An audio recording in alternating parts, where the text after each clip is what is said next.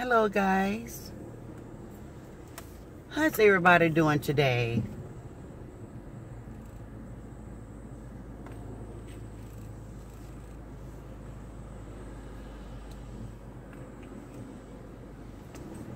Now, I once told you guys a story about my life in my early days, my young days. And for some strange reason, guys, believe it or not, I have always been misunderstood. You would think by now that would have went away all through high school. I was always misunderstood. No matter what I did, no matter what I said, it was always taken in a negative way. So here we are. And what I would like to do is, I got a message. But I would have you guys know that my message today is not for everybody. It is not for everybody. Give me one second. I am driving. Give me one second.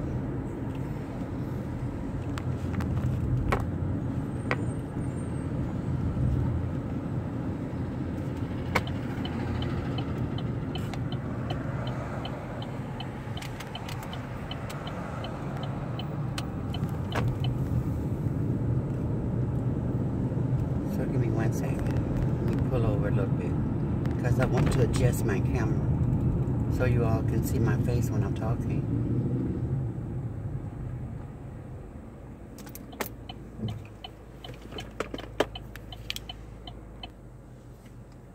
Okay, I'm back.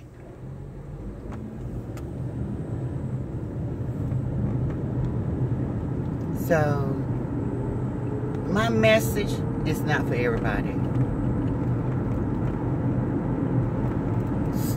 Young people, they don't view things the same way older people view things. They can only understand each other's language, body language, the words that come out of their mouths. When you are a older, mature woman, for some reason, the only thing the young people hear is blah, blah, blah. They can't hear the message. So I decided that I only want to talk to the more mature, older population, my audience. Now, when I first came out on social media, the big talk, the talk of the social media uh, YouTube street was Latrice. Everybody talked about Latrice. Okay? So, I just jumped in head first, so I would talk about her also. Do little skits. Till I felt like she was being wrongly uh, assassinated.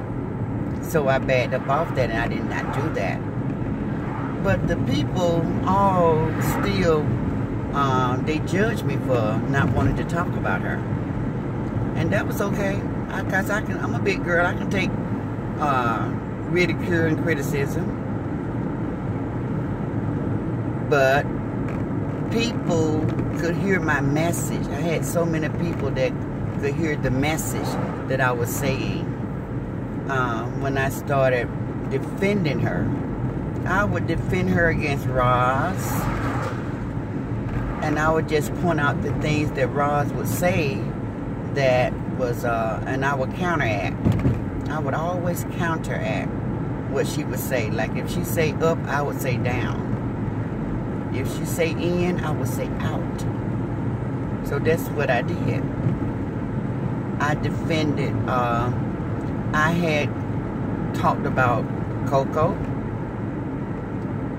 And people that didn't care for Coco that much, they rallied around me and they loved what I said because it was never in a bad, bad way, but it was more of an advice and throwing things out like, uh, don't take advantage of people, your followers and supporters, they love you, they'll do anything for you, but just knowing that you should uh, back off a little bit with the asking for cash apps and the super stickers and the chats and help you with your nieces and nephews, everybody's birthdays and the plots and uh, you know just everything. He just went to his audience for everything. It was almost like a dry begging, dry begging. I spoke on that. People rallied around me and they liked it because I was one of the ones that was speaking up for the injustice that was being done on social media. I would always speak up and tell the people that was doing the wrong to uh, not do that because we're all we're people, human. Don't take advantage of us, you know. We like who we like, that kind of thing.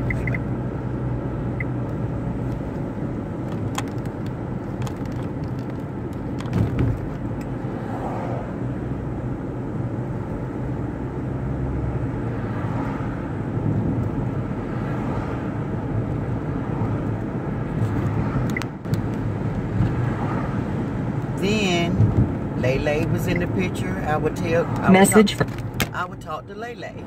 I would always be uh, giving advice because if anybody got any elderly people in their family, in the older, older, mature adults in their family, we're always giving advice because we're nurturers. You know, we're the last of the Mohegans. One thing about it, we are the last of the Mohegans. Okay? So I just wanted to say that. Now, the reason why today I chose to speak to my older, mature audience is because they should be able to relate to me and what the things that I be saying. Way better than the younger ones. The younger ones. They they just can't hear me. They can't hear me um, it has been said that uh, I am like other elderly on this social media platform. I beg to differ. I'm further from these people. I'm further from these people. I'm not out bashing anybody. I only talk about the things that they they're doing on social media. Like if I see an older person in my age, in my caliber, in my group of people, I would tell them, you're wrong for doing that. Don't do that. Don't do that. And then when the young people come along and say, oh, they're, the grandmoms are fighting and uh, the old people are fighting against each other. No. No. I wish you guys would not do that. Don't compare me with the older people that are out here cursing, using all type of profanity, talking bad about uh, other people, showing a showing hatred and jealousy. Don't put me with that. I'm not out here doing that. I'm not out here doing that. I'm not pulling on people's heartstrings to get people to do things for me. I don't do that. I'm a straight shooter. If I want something, I will ask for it. And up until this point, I haven't had to ask for anything. Praise God that He takes care of all of my needs. I'm not out here asking people to uh, give me cash apps, you know, give me super chats, give me super sticker. That's all part of social media, and it comes along with the platform. So here and there, here and there, but not a pounding, dwelling, asking. You know, I'm not doing that. And each time I come before you guys, I really tried to come with a message. I tried to come with a message. Because the type of uh, older, mature woman that I am,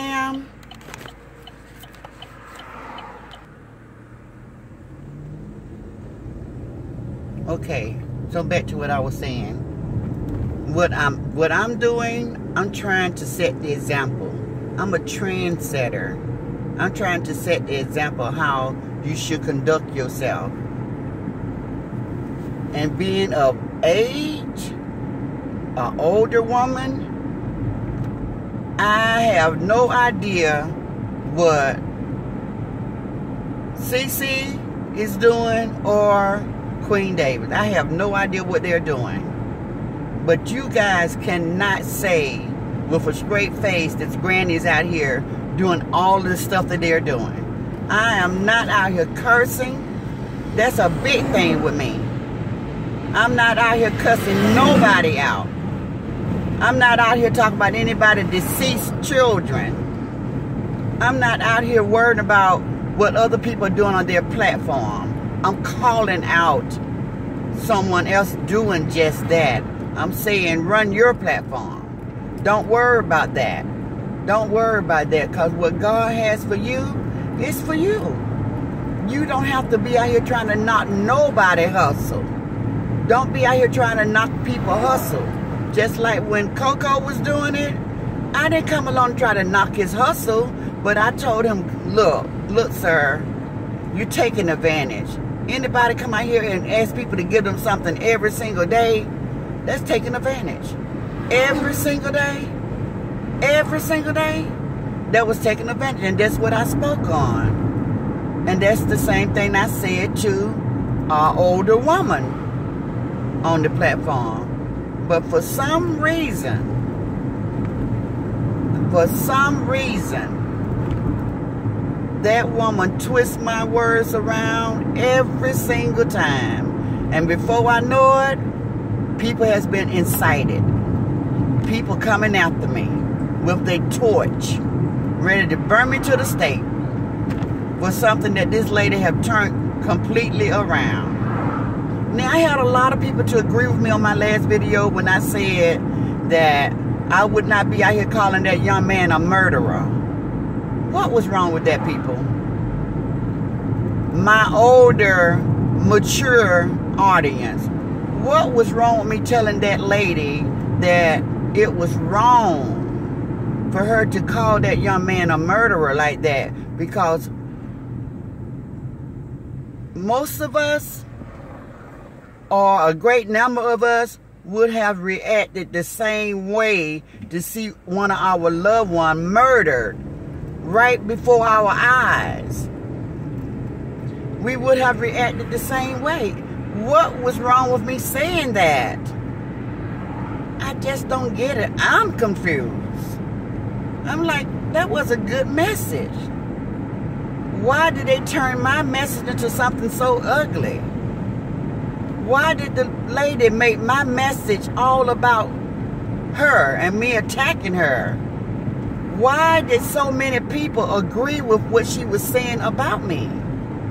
These are people that has been on my platform before and rocked with me and liked me. What has happened? I haven't changed. I'm the same. I still give my opinion. I'm still opinionated. I still give sound advice. I haven't changed.